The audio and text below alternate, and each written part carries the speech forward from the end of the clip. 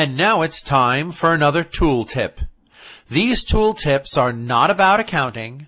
They are not about bookkeeping. They are only about using the QuickBooks software and managing the tools that QuickBooks offers. Today's tool tip is the second tool tip in our series.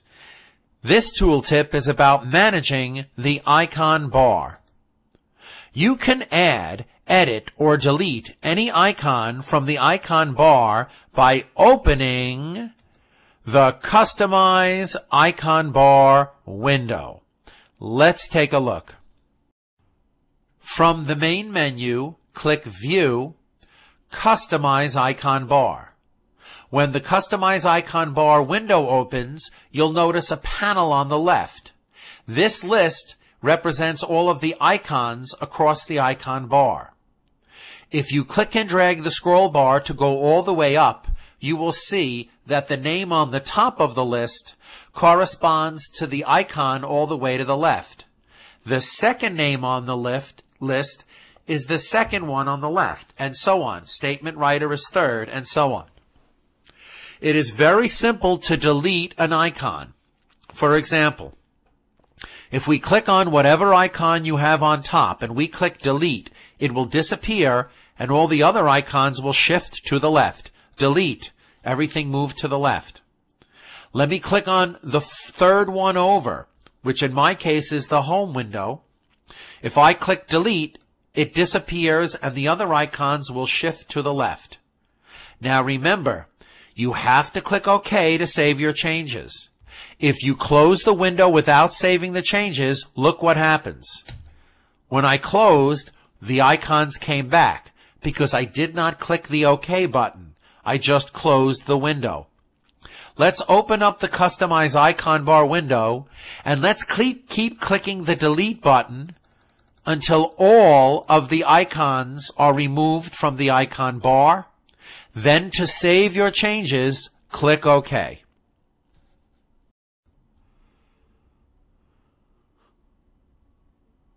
We add icons to the icon window so that we can have shortcuts to opening the windows that we usually use. How do we add an icon to the icon bar? Well, first, we open the window that we want to make a shortcut to. Then, we make sure that that window is the active window. From the main menu, click View. When we do that, we will see the pull-down menu will show the name of the window that we are adding. This will be clear as I demonstrate. Let's take an example. Let's add the invoice window to the icon bar so that we can just open it right from the icon bar and not have to remember where the invoice window is in the main menu. First, let's open up the invoice window. From the main menu, click Customers, Create Invoice. This is the window that we want to have a shortcut to. It happens to be the active window because it's the only one open. From the main menu, click View, and notice this says Add Create Invoice to the icon bar. The reason Create Invoice are the words in here is because that's the active window. When we click on it, we get the add window to icon bar little window. All you have to do is click OK and you notice the invoice icon has been added to the icon bar. Close out the invoice window and notice when you click the icon, the invoice window comes right back.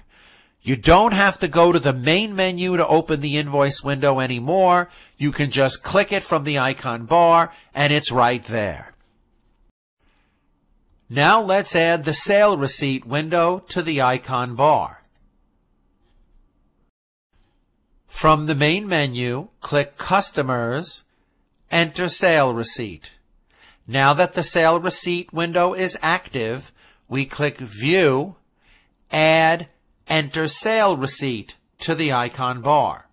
When we click here, we get this window, Add Window to Icon Bar. Wait a minute.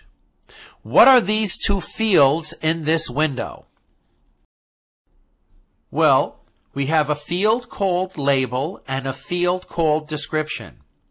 The field called label are the words that will show up under the icon. So if you change this to your own words, that's what you will see show up under the icon in the icon bar. The description field are the words that will show up under the mouse when you hold the mouse over the icon. And that's also called a screen tip. So let's take a look at what happens if we change this slightly before we click the OK button. So let's make a simple change. In the label field, let's put the word my, M-Y, so that we can see it will say my sales receipt. In the description, let's highlight the text that QuickBooks put and delete it. Let's type in, I love getting paid by customers. I guess that's the limit to what you can type in. When we click OK, we now have the shortcut for sale receipt. We can close it out. When we click the sale receipt shortcut, there it is. When we click the invoice shortcut, there it is. Notice the sale receipt shortcut says my sale receipt. Now notice the difference in the screen tip when the mouse comes next to the icon. When the mouse comes next to this icon, it says create invoice. When the mouse comes close to this icon, it says I love getting paid by customers. That's because we changed the description in the field. And now let's add the trial balance to the icon bar. You will see something interesting.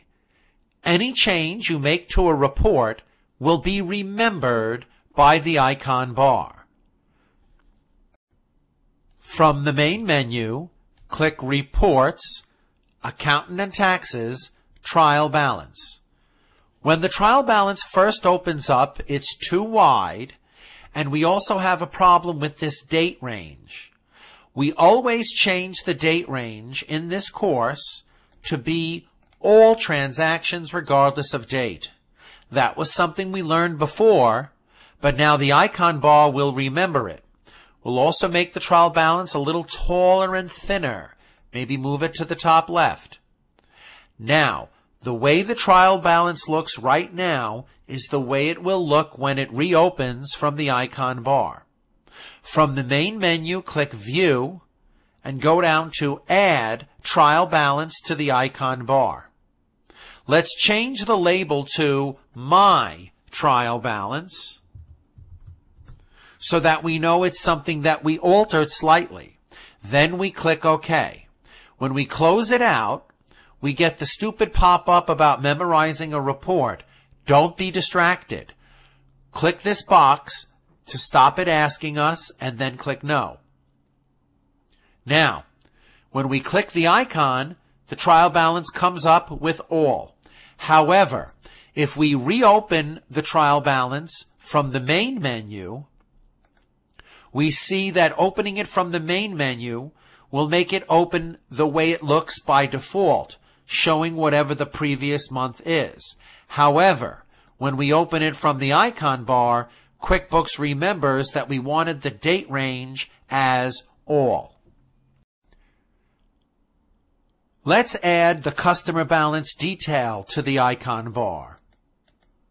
You can remove any column from any report with the click and drag motion. Then QuickBooks will remember how it looks if we save it to the icon bar.